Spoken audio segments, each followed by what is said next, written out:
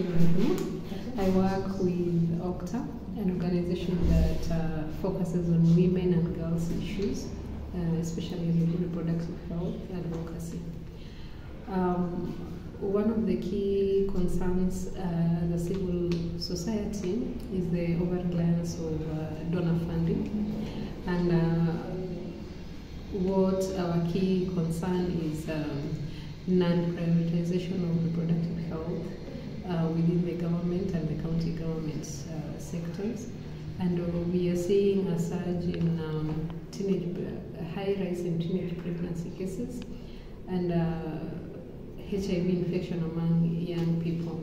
So our government, and specifically our county governments, are not prioritizing um, health issues in those areas, and these in the next coming years will become a problem.